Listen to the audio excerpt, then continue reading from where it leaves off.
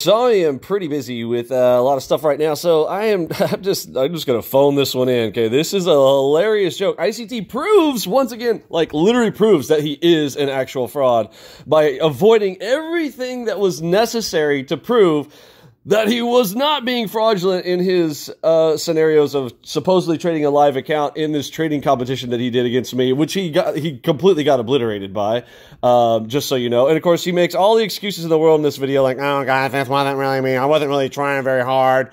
Um, you know, it's not like I'm coming out here trying to do the Robbins or anything. Mind you, let's just remind everybody that he has blown his account three times in the Robbins starting in 2017. Verified. Now, he might have done 2016 as well. I didn't ask that far back because I didn't even think he would, but according to Zion Line, he may have also done 2016. But I asked Joel Robbins to check on him, and from 2017, 2018, and 2019, blew his account three times in Robbins. We have tweet proof of this as well from back when he was tweeting, and of course, he deleted the whole thing because he would be in trouble with the CFTC. But go and watch this video and you see how hard he tries to avoid everything that was necessary to prove that he was not a fraud. But he goes right in and basically proves that he is.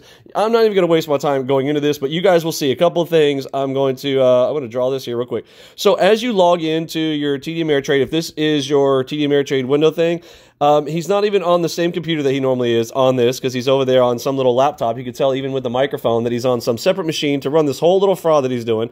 And he's got you have two things. You can go to live or you can go to sim. Okay? Well, no, in this video, he avoids clicking here where you would see some kind of history or whatever. And this is where his, this is his actual paper trading bullshit that he showed that I proved from that Friday on the, I believe it was the 21st. Um, anyway, I can go back and look at the date. I already made the video on it. I'm not going to go back and do it. So he goes over here into the live, right? Logs into the live, but doesn't show you the history, which is necessary. Now listen, there is a, a troll out there named Shalom Benzev. And listen, this guy is like, the craziest troll on earth when it comes to me, but uh, even today, he and I can agree on a couple of things. Look at this. Analytic trader. You guys know this little troll right over here. The 50 year old virgin, Shalom Benzev, still can at least agree with me on a couple of things. Let's go. Okay, listen.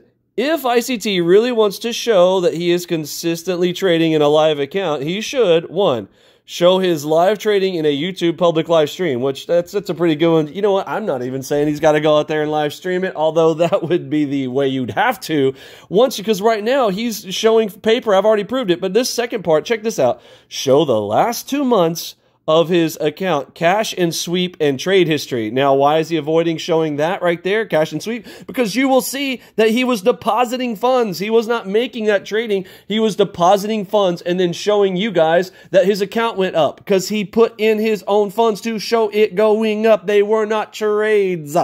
And yes, even Analytic gets that he would have to show the cash and sweep so that you see that there were no deposits because you if he opens it up in a live stream in a video, you will see they are there. He deposited into this account. The trade history to actually show the trades, he doesn't show that. All he shows is the account balance going up. And how do you do that? You simply deposit funds. I already proved this out. And look at this. Shalom Benzev even drew it. He's like, look, these are the two things you would have to do. And you will notice, what did ICT do? He avoided going into both of those. Same thing I said. Thank you, Shalom. Shalom. You know what? Shalom, you're an all right guy. I am going to, because of this amazing work that you did, I don't even know why I'd call it amazing, but hey, you know, it's amazing for you. Um, I do find it ironic that you're like, he needs to count two months of his account. Bro, He's out there with me. He says Vinny has to show two years. Okay, but look, man, I, I get it. You're not a dishonest, you're you know completely dishonest person. But hey, at least we can agree that ICT, if he's going to show that what he's been doing right now was legit, he would have to at least show two things, folks. Let's just reiterate it to him. Those of you guys who are actually emailing him because he's like, well, some of you guys have been inquiring, which means you guys have written some emails to him, which is good. But ask him for the two things that are necessary. He has to log in right here, and he cannot show screenshots. This fucker already faked the trade history with a screenshot. We already proved it. This is why he is busted. There's nothing he can do at this point. He's completely busted. He faked it. He faked it. He faked it. And folks, I, look, if you want to keep following, it's on you. If you like CNN and listening to fake stuff and you just like to believe what you want to believe, then please, by all means, stay over there. If that's you, you want to take this as your proof and you're going to come over here and tell me this is your proof, you are a fake, you are a fraud, you are a scammer, you are probably just benefiting off of reselling and repackaging ICT content, and that if your man goes down, then your entire uh, scamming business goes down because that's the whole concept about him saying, I am the mentor of your mentor, right? His mom, okay? I'm the mentor of your mentor.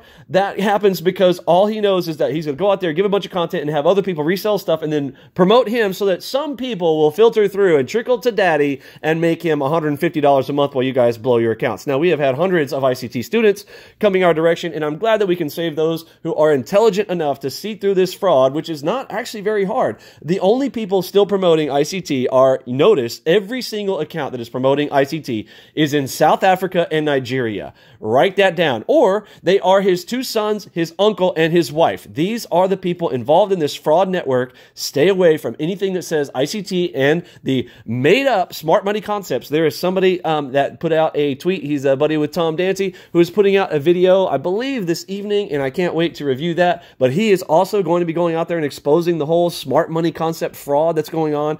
And this is not proof. That is what we're talking about here today. Here it is. Last time to reiterate, if anybody was not clear, what are the two things? Everybody ask yourself, pop quiz, put it down in the comments down below. Show me that you know what I just said. Two things he would have to prove. Just like Shalom, even Shalom gets it. You got to show the cash and sweep and the trade history marked out right here, folks. It cannot be any more clear than this. The guy is a fraud, a scammer, and we're done here. Have a good one. See ya!